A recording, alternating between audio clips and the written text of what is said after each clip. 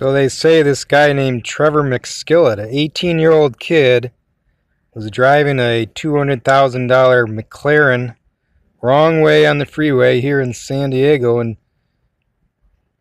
head on into a SUV, killing the other two and killing himself.